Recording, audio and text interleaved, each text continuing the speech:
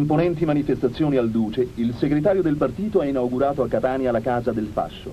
Successivamente Sua Eccellenza Starace si è recato in provincia, sostando a Gramichele dove ha inaugurato fra vibranti acclamazioni al Duce il monumento ai caduti.